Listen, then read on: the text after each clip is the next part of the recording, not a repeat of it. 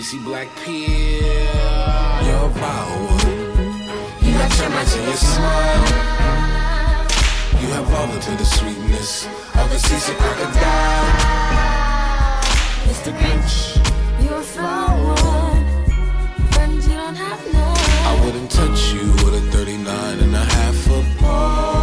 Thank you to everyone who participated in my publications class surveys uh, and answered those. We really appreciate your responses and the pictures that were sent in.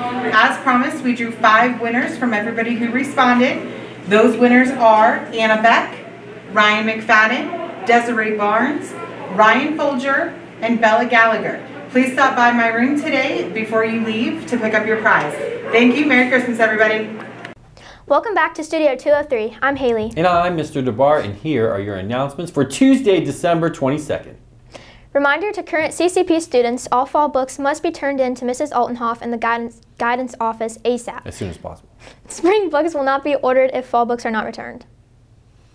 Attention, all high school track and field athletes. Preseason lifting has begun on Tuesdays and Thursdays after school from 3 to 5 p.m. You are welcome to join in to prepare for this spring season. Stop outside Coach Cochran's room for a packet of information and the monthly schedules. All boys and girls track and field athletes grades 9 through 12 are welcome to attend to get fit for the season. Any high school girl interested in playing softball this spring can sign up in the athletic office. Attention senior class, please submit your senior portrait no later than January 31st, 2021 to Ms. Piro.